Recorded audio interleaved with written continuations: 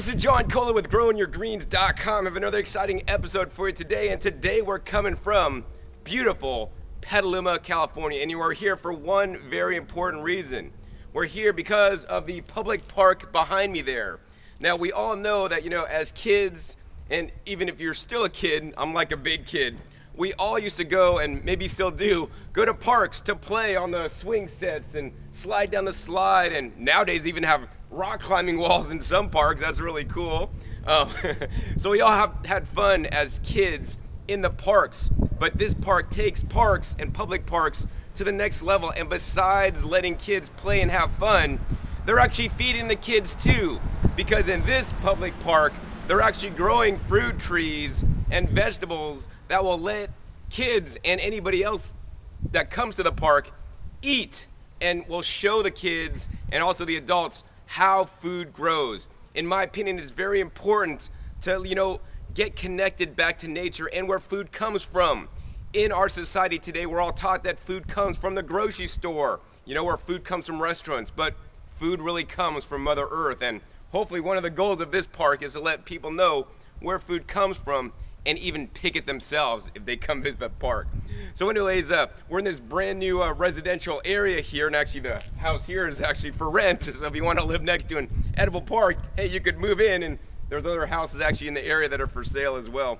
But nonetheless, let's go over the park and uh, investigate, and I'll show you guys more about how this park is working, how it operates, and why I think it's so cool. All right, so I'm just here playing on this rock wall, but I'm not here to play on the rock wall or any of the other play structures, including uh, swing set and slides and all that stuff. We're here to look at the edible garden. And uh, in this garden here, there's different kinds of edible crops planted. So including like things behind me, like the uh, fruit trees, there's berry bushes, berry patches, blueberries, blackberries, and raspberries. They got things like apple trees, cherry trees, plum trees, pomegranate trees, and they even got stock tanks filled with vegetables to the brim. So uh, let's go around this park and check out some of the different edible foods grown on. We're here at actually a sign that talks about this park and it says Edible Garden, City of Petaluma, California. And you know like most parks, you know, you're not supposed to pick the fruit, pick the leaves, take anything from the park, and geez, most parks nowadays, you can't even walk across the grass. They got no walking across the grass signs. But check it out, at this park it says, enjoy the park, please pick the fruit. It's fast, slow food. Fruits and vegetables are the original fast, slow food, and we've forgotten that in our society today. Nowadays, we think of fast food as the McDonald's joint, but think about it. If food is growing all around, like in this park, it's slowly fast food because it's right here accessible. You don't even gotta drive to the McDonald's, but it's slow food because it's natural food and the best stuff to eat and it says uh, no insecticides. Furthermore, at the bottom it says, we want you to pick and eat the delicious bounty from these fruit trees. No insecticides are sprayed. All you have to do is pick and enjoy. So this is definitely one progressive park, and I believe there should be more parks like this. I'm really excited now to actually show you around some of the areas of the park. Now we're gonna take a look at some of the fruit trees planted in this park, and they got this place planted out fairly well. You can see we're standing in the street and uh, you know, uh, between the street and the sidewalk, there's a little patch of area. And if you guys have one of these patches of area, this patch of area is a perfect place to grow some fruit trees. And that's what they're doing here. They got about six fruit trees or apple trees here in this bank, half a dozen. And these guys are gonna produce a lot of apples when they get larger. Now, they've spaced these about 18 feet apart so that when they do get larger, the branches will be able to overhang and produce tons of fruits. Besides the apples, they have a lot of other fruit trees, so let's take a look at just a few of them next. This tree right here is a cherry tree, and I could only wish that when I was a kid, there were cherry trees at parks because I love to eat cherries. Not only are they sweet, but they contain a high level of antioxidants that are really healthy and nutritious for us to eat. So when I moved into my current house, my neighbor had a nice, huge, I mean, it was huge cherry tree that he's had for many years. But just a few short years after, the roots rotted out and it got diseased because primarily in this area there's adobe soil and the cherry trees don't like sitting in standing water in the wintertime. So if you are gonna plant a cherry tree, I'd encourage you guys to dig a nice, huge, super large, big hole filled with some well-draining rich compost to grow that cherry tree so it doesn't succumb root rot or other diseases later on. Now we're looking at one of my favorite fruits right here. This guy's a persimmon tree, more specifically a Fuyu style persimmon. These guys can be eaten when they're hard or soft. And uh, this is probably the most productive tree here at the park. You know, there's apple trees and fig trees and other trees, but this guy is actually loaded up with fruit. The only problem that they're gonna have with this tree is that the stakes only come out of the ground to four feet and they need to definitely stake it up and get taller stakes because this tree is already so heavy, it's leaning over a little bit. Any case, I think it's great they got a Fuyu persimmon. Let's go take a look at some other trees. Here we are looking at yet another tree, and this is actually a good one. This is actually a pomegranate tree. Pomegranates are high in antioxidants and definitely an easy tree to grow. This one literally grows like a weed. I barely do anything to mine, and it just grows, makes lots of flowers and lots of fruits as well. This tree actually happens to have about a handful of fruits on it. And I want to encourage you guys to grow things that are going to grow easy with the least amount of pests. So pomegranates, in my opinion, has been one that has been really easy for me to grow. I know they have some apples and that can have some challenges with, uh, you know, pests and disease, but the pomegranates have been pretty surefire. So especially if planting a park or you want to have a park-like atmosphere at your home, planting is going to be low maintenance. So the pomegranates are low maintenance. I've had very few problems aside from the birds wanting to eat my um, persimmons. And in addition, things like pineapple, guava, and the loquats actually do really well for me. And actually the loquats and the pineapple guavas are evergreens as well, and I love my evergreens. Now we're looking at one of my favorite fruit trees here in this park. You know, you can see the swing set right beside me there, but I'm actually talking today about this beautiful little fig tree. Now this fig tree is small now and they've left actually a nice large area for this to grow up into. You know, I have been under and eaten figs off 100 year old trees. I mean, these guys could grow a long time. That being said, the one thing to consider if you are gonna plant a fig tree is get a variety that will perform well in your area. You know, before I was in the know, I planted a brown turkey fig in my area that doesn't get quite enough heat for them to ripen up optimally.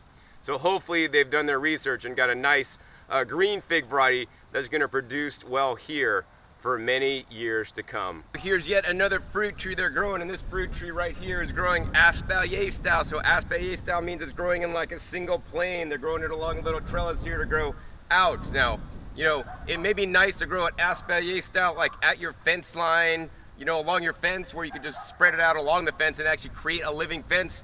But in uh, this case, it might just be done for fun because, you know, they got so much space here, they don't really need to do it espalier style unless they're doing it for uh, decoration or for a showpiece. Besides planting fruit trees here, they also have planted some nut trees. And hey, I visited a place called the Nut Tree when I was a kid. And if you did too, post it down below the video. But nonetheless, they got a few nut trees here. This happens to be a walnut tree and they also have an almond tree behind me there. And uh, the thing I want to show you guys here is what they're doing is how they're planting these trees. Now, I've heard from an arborist that you should probably do this with most trees, especially fruit trees, and especially trees that don't like to keep their roots wet. You want to plant them on a little mound or hill. So this is the ground level here, and then it kind of goes up, and they planted these trees on a little mound to basically raise the root ball up off the ground so it's gonna not get as wet in the winter. You caught me sitting down on the job again. but I'm sitting here at one of the picnic tables here in the park overlooking the, the little playground area and behind it the uh, blackberries, which we're gonna look at in a little bit. But before I do, actually, I wanted to tell you a story, actually.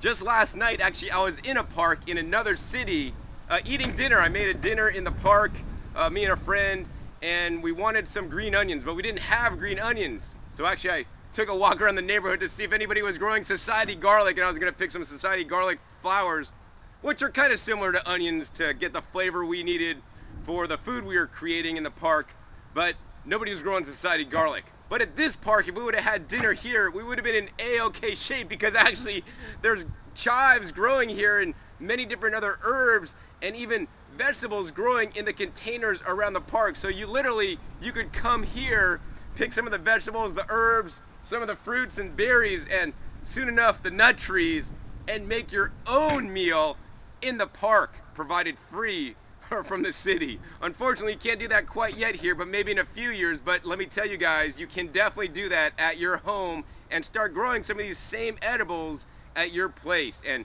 I want to always encourage you guys to grow whatever you can. If you don't got a lot of room for the fruit trees, that's all right. Grow some vegetables or even just grow some herbs. They're absolutely the easiest things to grow and are gonna allow you to save the most money. In any case, next let's take a look at some of the vegetables and herbs they're growing here. Now we're just looking at one of many stock tanks. These are just the standard galvanized stock tanks that they use to, you know, uh, feed horses and stuff or whatever. But you can just get these, pop a few holes in the bottom, fill it with some good rich compost, and don't forget your rock dust for the trace minerals, and start growing some food like they're doing here. This is the actually the, the stock tank or the raised bed we needed last night to uh, eat our chives and they got a beautiful thing of chives. It doesn't look like too many people are harvesting these guys. In addition, actually I gotta tell you guys, this stuff right here is probably the best tasting cilantro flowers because it's gone to bolt that I've tasted aside from my garden. Mmm, I love, man, these cilantro flowers, they taste amazing. You gotta come here just to try these guys. They have a nice hit of the cilantro flavor, but also the sweetness of the flowers and the little pollen in there. In addition, they got some dill here. So these are the exact ingredients you need to flavor up that salad that you would bring and eat in the park. In addition, check it out. And I don't feel guilty about picking this stuff because I am encouraged.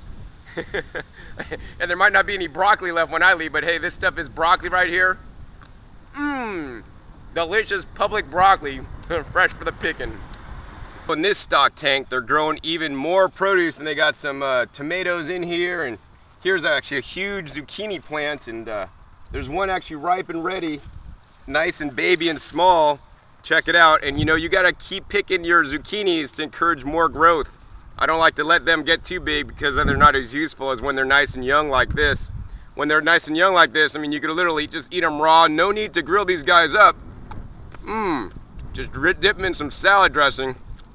Mmm, they're delicious. Here's yet another stock tank here at the park, and you know what? These stock tanks at the park are like a box of chocolates. Just like Forrest Gump said, you never know what you're gonna get. Each stock tank has a nice mixture of herbs, vegetables, and even some fruits, such as this one right here. This one is growing strawberries around the outside of the stock tank, and I saw some kids here earlier just uh, looking for some strawberries, so I doubt I'm gonna find any ripe ones. And in the middle, they got some sage. So sage is an amazing culinary herb that you can use. Once again, flavor up your salad or even take a little bit and use fresh instead of buying dried herbs. Fresh herbs have much greater flavors and mmm, they taste so good, even straight. All right, so yet another stock tank. There must be at least a dozen of them here and there's so many different things growing. In this stock tank, looks like they actually have some spinach that's bolting now ton of tomatoes that are not yet ripe, but there are so many different cherry tomatoes on this. It's not even funny. And check it out. I was looking through here and I saw on the zucchini plant, nice, large, perfect zucchini ready to be harvested. Score! I mean, goal! Got a cool zucchini to take home now. Another stock tank, probably the last one we're gonna look at today. Now this one has a variety of things growing in it, including thyme, basil, strawberries, and tomato. And the one thing I love to do the most is go out to my garden when it's harvest time and look for ripe tomatoes. And what you want to do is you want to leave no leaf unturned. And uh, check it out, we're looking here where probably nobody else has been looking for a while. We got a nice ripe cherry tomato. Mmm. Oh my God, that's nice and sweet. Probably the best cherry tomato, thanks to the city of Petaluma, that I've ever had.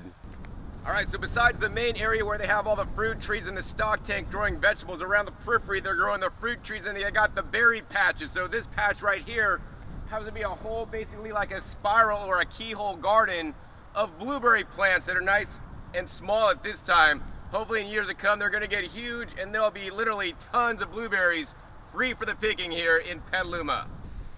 All right, so now we're walking through the blackberry patch, which is literally an area with two beds off to either side of me of blackberry vines. Now these blackberry vines are thornless, so if you have a public park, it's probably a good idea to plant the thornless ones instead of the thorn ones that could get people hurt. But these guys are really towering some as high as eight feet. Some nice canes that are producing some delicious blackberries. Next, let's take a close-up shot. Some of the blackberries that are not yet ripe, and also some other berries that are growing along with the blackberries. Now we're looking at some raspberries. Not, these are not raspberries, these are blackberries. They're red, and when blackberries are not ripe, they're red, and they're gonna turn black hopefully really soon. This one plant here, geez, it's about seven feet tall, and it has a whole bunch of berries here, as well as here. nice picking level for the kids. And man, I bet these guys are gonna be really delicious once they're ripe. Anyways, let's head over to another area where they got some raspberries that we're gonna take a look at next. Now we're sitting in the patch of raspberries that are growing along with the blackberries and uh, also a cherry tree towering above me. And check it out. I found some berries the kids didn't eat. Here's a nice uh, raspberry here, nice red raspberry. Mmm, that's delicious. Oh, here's some more back here too. And I want you guys to think for a second and imagine a world where every public park had fruit trees, berry plants, and vegetables growing. I mean, would there be any such thing as hunger anymore? Instead of growing just non-edible landscape plants, parks can plant edible food crops that may not take even that much more labor than planting just regular non-edible fruit trees and other plants to beautify the parks of the country. So I really like this park here and uh, next actually I see some kids over here so let's actually go over to the kids that are actually picking some blackberries and uh, talk to them next. Luckily enough, uh, while I was here filming this episode, I found some local kids and uh, you know, they probably live in the area and they're picking some of their own food. So what are you guys picking today? Uh, blackberries. Yep. As you can see, they're really black and we've, we barely found enough. We've only had like one or two. There's not that much to pick here. As you can see, they're all like burned because of the sun. Wow, cool. So you guys come here a lot and like pick a lot of your guys' own food or what? Um, sometimes, mostly on the weekends. Mostly on the weekends. So do you see like a lot of people come here to pick all the food or is there like a lot of food for you guys to pick because nobody else does it? A lot of food for us to pick. Really? A lot of food for you guys. So like not a lot of people come here, huh? Wow. So do you guys like this park? Do you think it would be better if they didn't have all this stuff, that, that stuff you could eat growing, if they just had maybe like decoration trees or like more like things and things for you guys to play with, or do you guys like like all the plants that that will feed you? Well, I like all the plants that feed me because well, I don't have to ask my mom to make me food, and I can also be playing while I'm eating the food.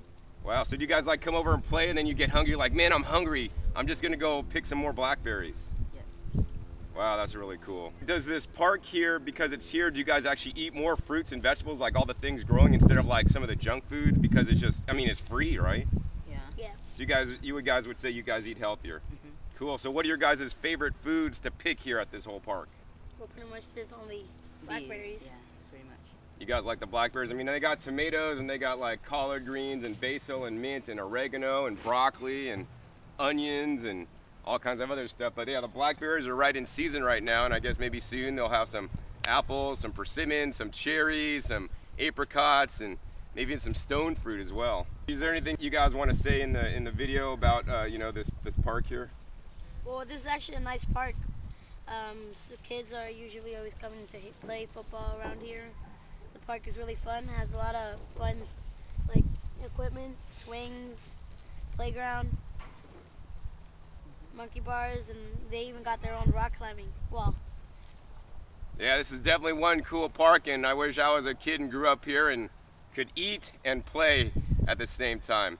So anyways, hopefully you guys enjoyed this episode learning more about this incredible park here in Petaluma, California. We could not only play, but eat some fresh fruits and vegetables too. Once again, my name is John Kohler with growingyourgreens.com. We'll see you next time, and remember, keep on growing.